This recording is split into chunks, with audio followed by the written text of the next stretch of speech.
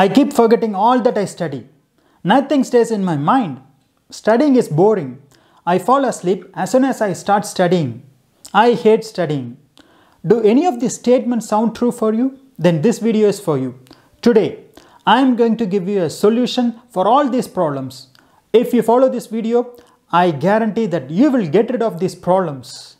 You will also improve your concentration power, memory power and even your motivation to study will definitely increase. My name is Aravind and I am here to help you learn faster. If you are interested in learning and improve your memory power, then consider subscribe this channel and click the bell notification. Suppose you are planning to tour Dubai. Let us consider two scenarios here. In the first scenario, let us say that you are one of those people who has never heard of a city called Dubai. You don't know anything about it. You are completely clueless about the tourist spots and places to visit in Dubai. When you start the tour with that mindset, do you think you will be enthusiastic about the trip? No, you have no idea as to what to expect in the tour. So you are not that thrilled. Now let us see the second scenario. You have a friend who lives in Dubai. Whenever he visits your hometown, he brags about Dubai non-stop. He talks about how Dubai is known for world's tallest building, the Burj Khalifa. Then there is this Dubai frame, which is an architectural landmark.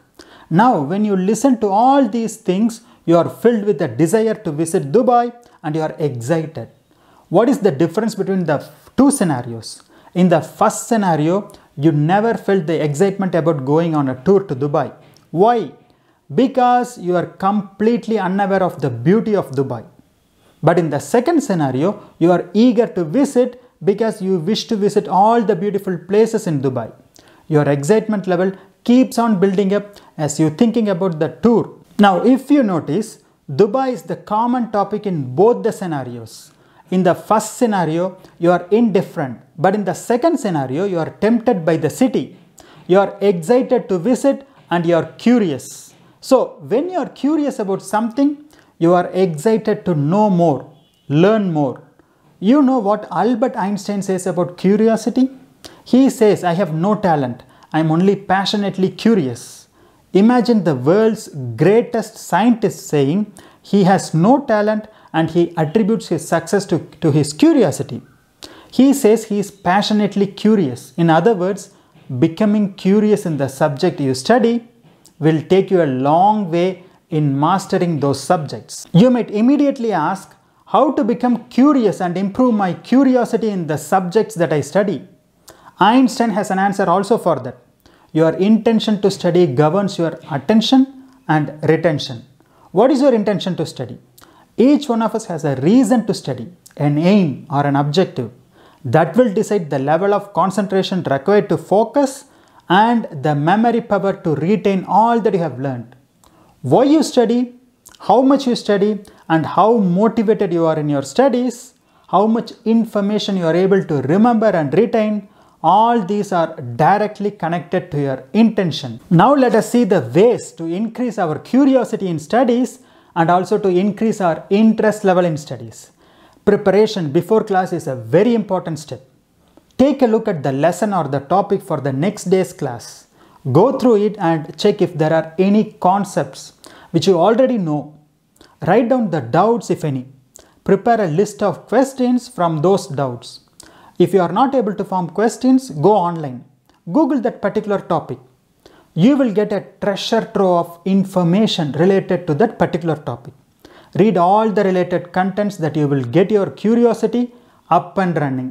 Once your curiosity is triggered, it will take its own course and you will gather lots of questions and information. Because of this, you will be very attentive in the class the next day. In class, you are eagerly looking forward to have the answers for all your questions. Even if you don't get those answers during the class, you will get your doubts clarified after the class. Because the quality of the questions you have before you study determines the quality of answers you get after you study.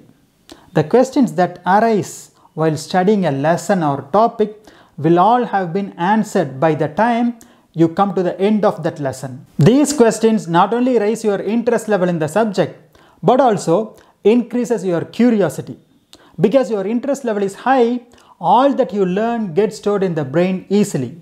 Your concentration power increases and your focus is doubled. Studying is like playing, so become curious. Play with curiosity, ask lots of questions, and always remember one thing curiosity is the key. Curiosity will make you the class topper, the subject expert, and maybe even a scientist like Einstein and whatnot. If you think this video is helpful, then comment, like, share with your friends and consider subscribing this channel and click the bell notification. See you soon on another video.